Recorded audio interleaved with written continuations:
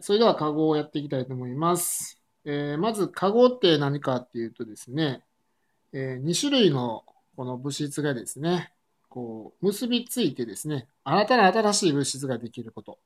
まあ、これを化合っていうわけですね。うん。で、これも覚えておいてほしいんですけど、まあ化合によってできたこの物質をですね、化合物って言います。まあ、化合されたものってことですよね。えー鉄と硫黄の化合によってできる化合物は硫化鉄。まあ、なんて言ったりしますね。うん。で、こんな感じでですね、まあ、鉄 Fe でしたね。うん。で、硫黄は S です。これが、まあ、くっついてですね、えーこのような硫化鉄になっていくということなんですね。うん。で、えーまあ、鉄と、まあ、硫化鉄はこれ違いますから、その違いをですね、えーこう調べていくとですね、まあ、鉄はまあ、銀白色。まあ、これは覚えなくてもいいと思うんですけど、硫化鉄は黒色ですね。うん。まあ、鉄は黒色じゃないんでね。まあ、違う物質になったっていうのはこれでもわかると。また磁石につけるとですね、まあ、鉄はくっつきますよね。でも、硫化鉄はま磁石につかないということですね。やっぱ別の物質だと。えこれもよく出てきます。薄い塩酸を加えましょうと。うん。こう塩酸って金属をこう溶かして水素を発生させるんですよね。だから、まあ、鉄だったらね、塩酸加えたらですね、まあ、水素という液体が発生します。ですが、硫化鉄はですね、え塩酸を加えると、硫化水素っていうね、え液体が発生します。えこれはですね、えーまあ、卵の腐ったような匂いですね。うん。まあ、あれと同じような匂いがします。まあ、大体、よイモイジ湧くかな。うん。すごく臭いんですよね。うん。まあ、ということでですね、えー塩酸かけたとき、水素と硫化水素で全然違う気体発生しているので、やはり鉄と硫化鉄は違う物質だというのがわかりますよね。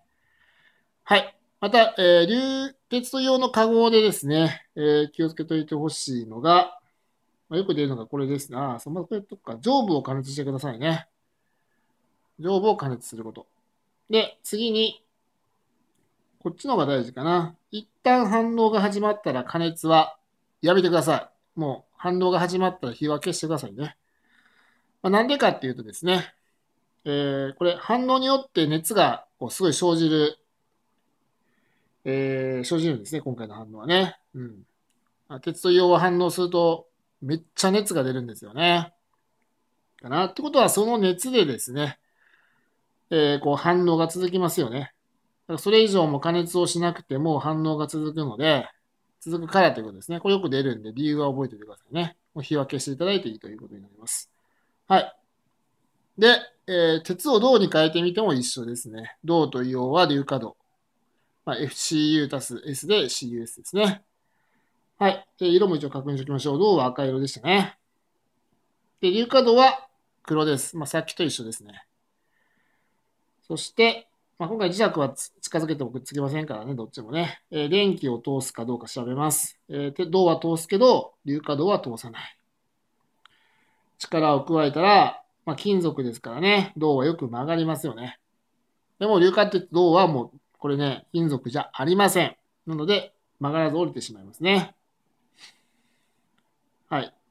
えー、あとですね、えー、まあまあまあまあまあ、これはいいか。うん。はい。で、化学反応式ですね。えー、これがまあめっちゃ大事なんですけれども、まあ自分で組み立てられるようにね、やっていきたいと思います。えー化学反応式っていうのは、まあ化学変化を化学式で表したもので式ですね。あの、めっちゃ簡単に書けるんで、絶対覚えていきましょう。例えば、えー例を挙げてますけれども、まあ、水素と酸素。この気体ですね。これ化合するとですね、水になります。うん。ではこれをね、えー化学反応式にしていきたいと思うんですが、まずはね、まあ、こうする、こうしますね。うん。水素って H2 ですよね。水素分子。で、酸素は、これも酸素分子だから O2 でしたね。これ、とりあえず足すって形作ってください。で、できるのは水なんで、水分子の H2O と書いておきます。まずこれ書いててくださいね。なんですけど、これって原子の数がね、これ合ってないんですよね。いい。化学反応っていうのは、反応の前と後ろでですね、原子の数と種類は同じなんです。うん。なので、2番の状態でですね、これ水素原子反応前2個、反応後も H22 個でこれは合ってるんですけど、酸素原子は O2、これ O 原子2個あるのに、反応後はこれ O1 個ですよね。酸素で数合ってないんですよね。なので、左右の酸素原子の数を等しくするためにですね、右辺の水分子 H2 を1個増やさないといけないんですよね。これで酸素が、酸素原子2個になるんでね。うん。はい。では4番目なんですけど、今度は逆にですね、えー、水分子1個増やしたことによってですね、H2 がね、ほら、えー、H2 が2つですよね。水素原子って考えたら2たす2で水素原子これ4個ありますよね。H が2個2個で4個でしょ？水素原子ね。うん。じゃあ反応前、これね、水素分子1個、要は H が2個ってことですよね、水素原子が。やっぱり4、水素原子4個にしないといけない。ということで、H2 をもう1個増やしてあげるんですね。うん。いいですね。これで水素の数も合ってきました。ね。え酸素の数ももちろん2個で、2個で合ってますんで、これ数はこれで4番で合ったわけですね。最後はですね、あの、いちいち H2、H2 って書くのめんどくさいんで、2つありますから、2H2 って書きます。これもですね、H2O が2個あるってことだから、もう 2H2O って書いちゃうんですね。こんな感じにすればですね、えー、化学反応式は完成するということですね。書いてる通り、水素分子2個と酸素分子1個で、まあ、水分子が2個できるということですよね。はい。まあ、慣れてくるとですね、もう3、4を、ま、カットしていくというかですね、えー、まあ、僕だったらこう書くんですけどね、ちょっと書いてるところに書きますけど、まず H2 たす O2、矢印 H2 って書きますよね。ちょっとこの辺上げておくんですよね。2とか3とかつくかもしれないんでね。そして、まあ、酸素2個で酸素1個。水素の数は合ってますよね。ということは、ここにもう H2 をもう1個いるから、まあ、もう2って書いちゃうんですよね。うん。あとは水素分子とか水素原子の数を合わせるために、これも2個いりますよね、H2 がね。だからこう2と書くと。これで完成って感じですね。うん。大体こうやっていくと思います。はい。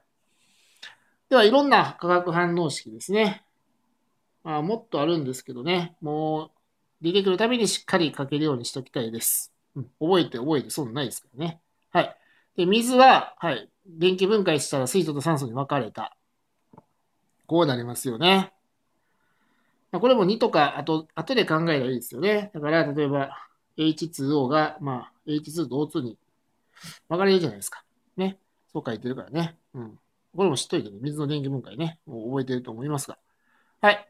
で、数が酸素原子1個、酸素原子2個じゃ数合わない。水素は数合ってますね。だから、2は H2O の左につけると。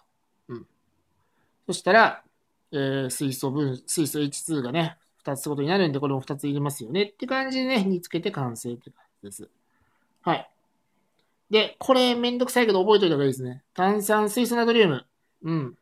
は、覚えてますかねこの前の単元だったと思いますけれども、加熱をしたら分解されてですね、炭酸ナトリウム、二酸化炭素、水に分かれます。これで、えー、後ろから読むと分かりやすいですね。えー、あ炭酸水素ナトリウムって、これ後ろから読むんですよね。この NaHCO3 なんですけど、この CO3 が炭酸で、H が水素でナトリウムって感じね。炭酸水素ナトリウム。NaHCO3。暗記してください。で、これを矢印書いて、炭酸ナトリウムが Na2CO3。で、二酸化炭素が足す CO2 で、水が H2O ですね。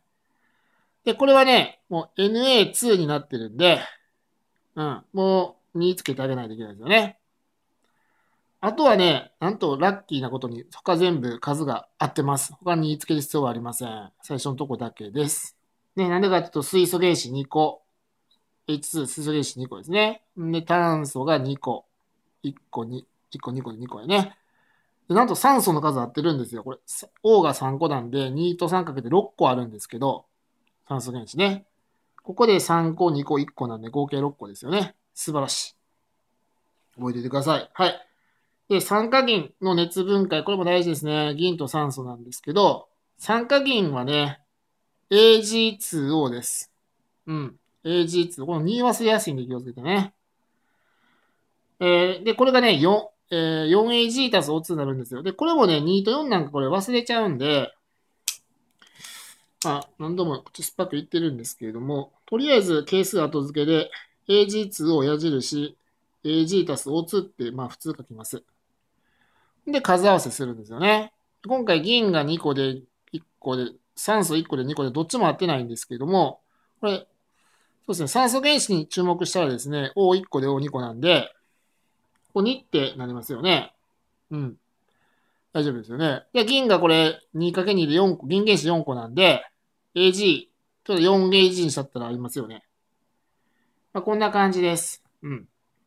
はい。で、塩化銅の、これ電気分解ですね。塩化銅って電気を流すとですね、銅と塩素にこれ分解されます。うん。えー、塩化銅は Cu、Cl2 ですね。電気分解ですね、これね。塩化銅ですね。電気流すと Cu 足す Cl2。塩素って気体ですよね。銅と塩素に分解されると。うん、これはもう数合ってますね。で、鉄と硫黄と銅と硫黄はさっきやって、炭素と酸素は二酸化炭素ですね。はい。炭素は C、酸素は O2。で、できるのが CO2。まあ、そのまんまですよね。はい。まあ、あとで結構付け加えておきたいのが、銅と酸素で酸化銅だけちょっとね、付け加えておきましょうか。銅と、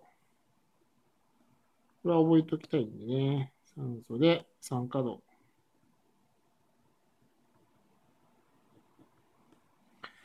はい、これはですね、えー、Cu たす O2 がまず CuO と書いておいてください。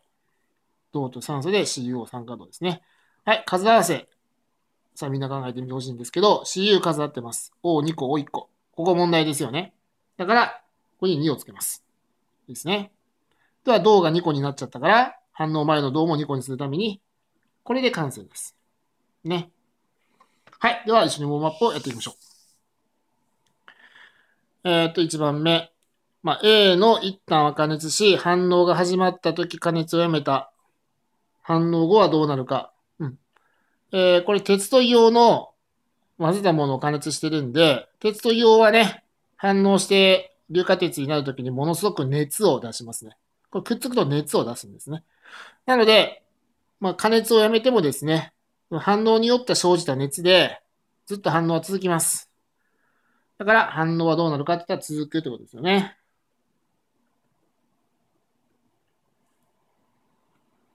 はい。で、2番目。熱した後の A と熱してへんと B をね、近づけたら、磁石に近づけたら磁石につくのはどっちはい。これ熱しちゃうと硫化鉄になっているので、もう鉄じゃありません。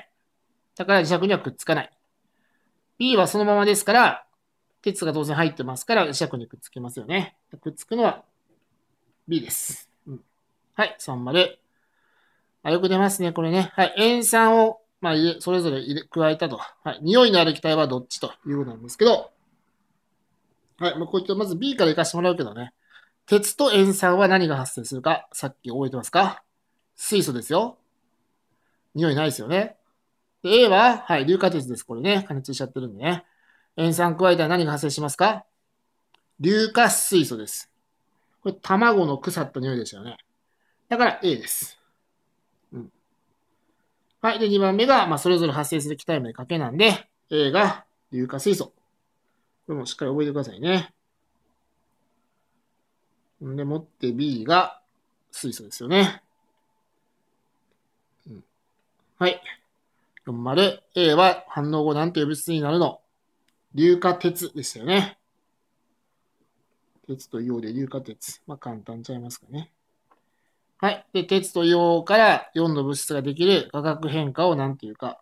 まあ、鉄と硫黄がくっついて新しい物質ができているということですから、化合ですよね。はい。6番目。4でできた物質は混合物か、それとも純粋の物質か。はい。それはですね、硫化鉄という物質ができたんで、これは混合物混ざってるわけじゃないですよね。これはく、ちゃんとくっついて1個の物質になってますからね。1個の物質なんで、純粋な物質です。混合物はね、えー、2, 2種類以上の物質が混じってるもんなんで、ね、最初は混合物ですよね。鉄と硫黄が混ざ混ざってるんだね。混合物なんだけど、それが完全にくっついて1個になったんで、これはもう混合物と言わず、まあえー、純粋な物質ですよね。うん。その中でも、純粋な物質の中の化合物と言われますけどね。うん。まあ、純粋な物質。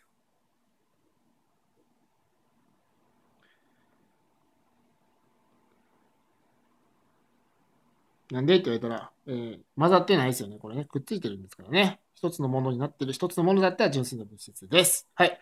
では、A で起きた化学変化を、化学反応式ですね。うん。えー、っと、これは鉄と、まあ、硫黄で硫化鉄ですよね。ですね。うん。あとね、化学反応式ね、たまにイコールかっこいいけど、イコールじゃないからね、矢印なんでね、こう進むよということでね。気をつけてください。はい。次の、えー、反応式を書きなさいということですけど、ここ CUS ね、硫化銅になってるんで、それは 1CU ですよね。いきましょう。はい。えー、っと、炭素とほにゃほにゃで CO2。O2 があるんで、これ酸素ですよね。はい。3番目、酸化銀の熱分解。はい。えー、まずね、酸化銀を、これ覚えてね、AG2O だからね、これ。あの、銀2個と酸素1個でくっついてますからね。で、これが分解されて、銀と酸素になります。ちょっとね、それぞれ左開けとくといいですね。2とか書く場合があるんでね。はい。で、酸化銀の場合で、これね、まあ、銀から着目しちゃっても、まあ、いずれ合うんですけど、酸素で着目した方が解きやすいですね。1個が2個になってる。数を合わせないといけない。だから、ここで2ですよね。そうすると銀が4個になってるの分かるよね。2×2 で4個なんで。だからこれ 4AG なんですよね。うん。で、完成です。大丈夫ですね。はい。水の電気分解。